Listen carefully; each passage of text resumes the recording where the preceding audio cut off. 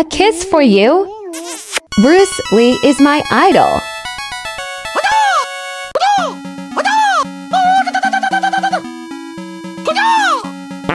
Before you scroll, take a look at my floofsters.